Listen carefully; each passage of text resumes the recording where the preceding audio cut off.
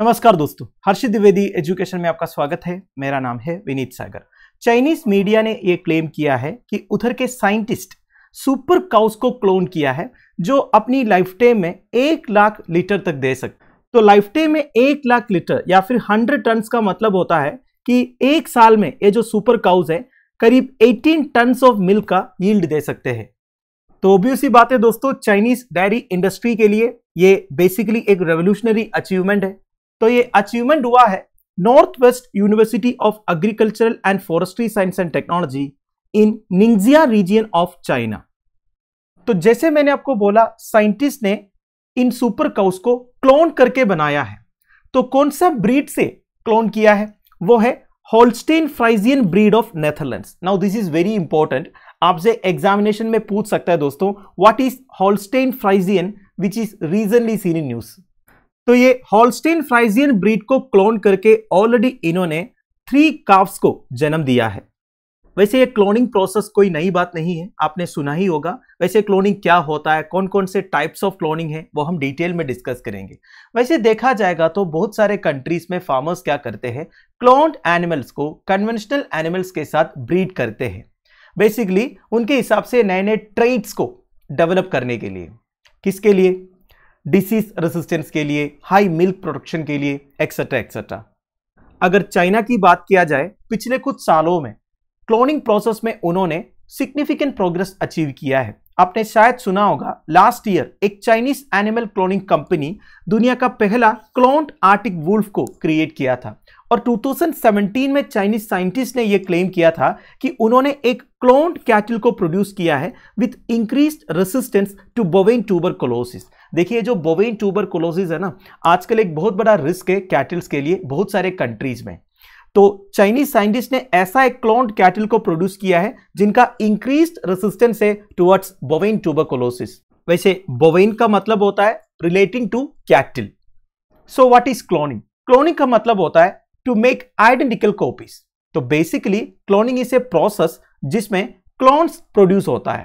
Clones का मतलब क्या होता है? Clones are organisms that are exact genetic copies every single bit of their DNA is identical तो एक पर्टिकुलर ऑर्गेनिज्म का एग्जैक्ट जेनेटिक कॉपी जो होता है ना, उसे क्लोन बोल सकते हैं। दोनों ऑर्गेनिजम्स के every single bit of DNA identical होगा। क्लोन्स नेचुरली भी हो सकता है। जो आइडेंटिकल ट्विंस रहते हैं ना दोस्तों it is one of many egg naturally ही नहीं आर्टिफिशियली भी क्लोनिंग किया जा सकता है। So how is cloning done वो हम डिस्कस करेंगे। देखिए, आपने से कई लोग क्लोनिंग के बारे में पहली बार सुना होगा, जब 1996 जुलाई को डोली करके एक क्लोन शीप का जन्म हुआ। यह है दोस्तों, Dolly the sheep the first ever clone animal in the world six July 1996 से 14 फरवरी 2003 तक शी वॉज़ अलाइव तो एक ऑर्गेनिज्म का एग्जैक्ट जेनेटिक कॉपी क्रिएट करने के लिए दो तरीके हैं दोस्तों। One is artificial embryo twinning second is somatic cell nuclear transfer दोनों में क्या क्या प्रोसेस होते हैं, वो हम डिस्कस करेंगे। Number one artificial embryo twinning artificial embryo twinning में जो नेचुरल प्रोसेस होता है ना, उसी को मिमिक किया जाता है आर्टिफिशियली जैसे कि आइडेंटिकल ट्विंस वाला केस में होता है। देखिए नेचुरली आइडेंटिकल ट्विंस कैसे पैदा होते हैं, ये आपने बायोलॉजी में पढ़ा होगा ब्रीफली में बता देता हूँ। पहले स्पर्म एंड एग का फ्यूजन होता है बेसिकली एग फर्टिलाइज हो जाता है। अब फर्टिलाइज्ड एग से क्या बनता है एम्ब्रियो बनता है। अब आइडेंटिकल ट्विंस वाला केस में क्या होता है? ये जो एम्ब्रियो है, वो दो हाफ़ में स्प्लिट होता है।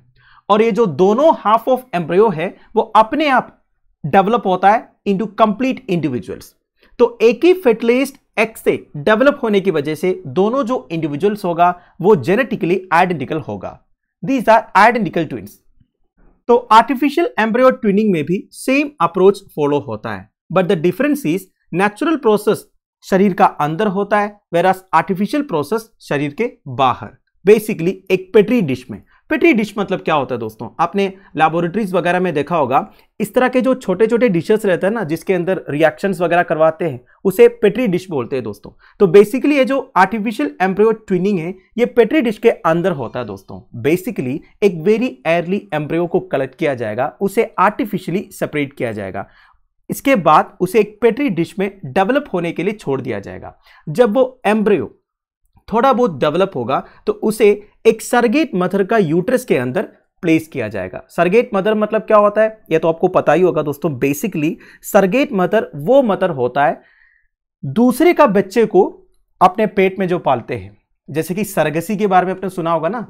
जब एक लेडी बच्चे को कैरी नहीं कर पाता है या उनके यूट्रस में कुछ प्रॉब्लम है तो वो सरगसी अडोप्ट कर सकता है। बेसिकली स्पेम एंड एग का फ्यूशन के बाद बेसिकली फिटलेस्ड एग को एक सरगेट मदर का यूट्रस के अंदर प्लेस कर सकता है।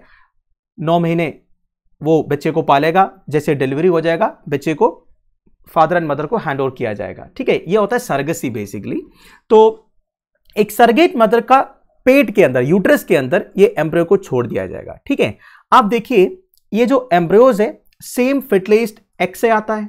इसलिए जो बच्चा पैदा होगा, वो जेनेटिकली आइडेंटिकल होगा।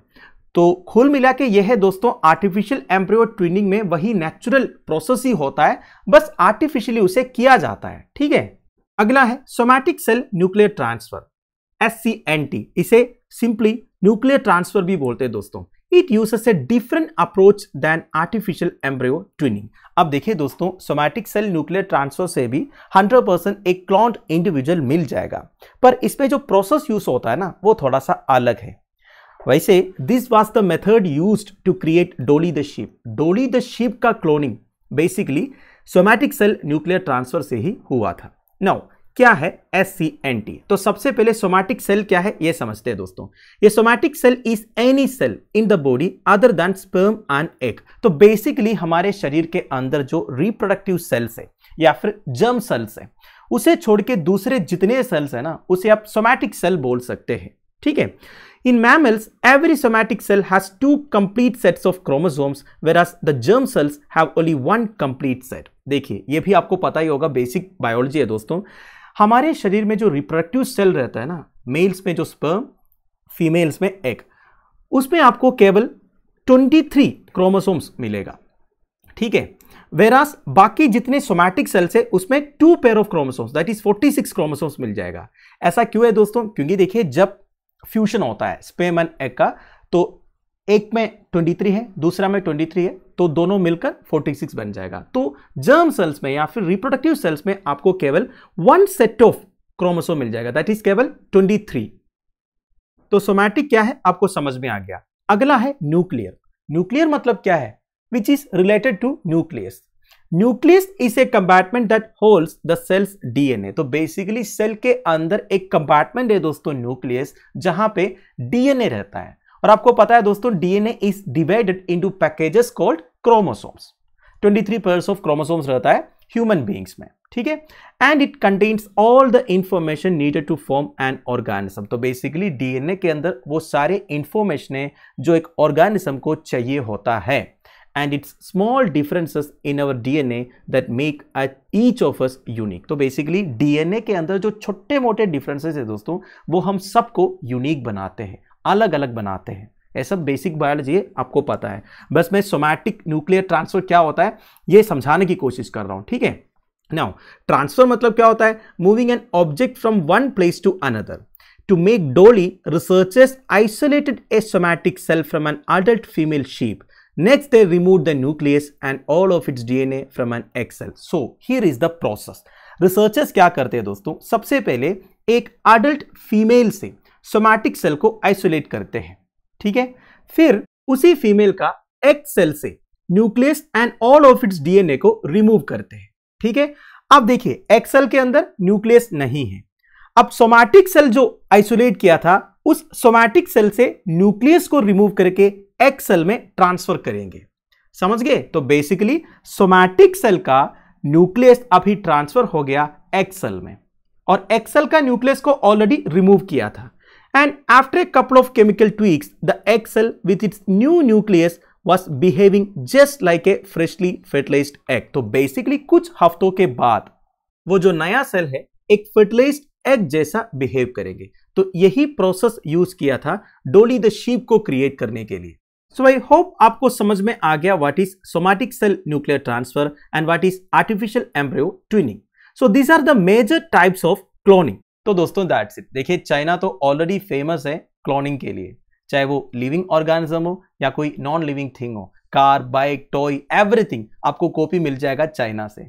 तो अब चाइनीज़ रिसर्चर्स ने ये जो सुपर खाउस को बनाया है it is really remarkable actually देखा जाएगा तो। क्योंकि देखिए दोस्तों लाइफ टाइम में वन लाख लीटर यील्ड मतलब कोई छोटी मोटी बात नहीं है। सो आई होप आपको वीडियो इन्फॉर्मेटिव लगा होगा। Thank you for watching bye bye have a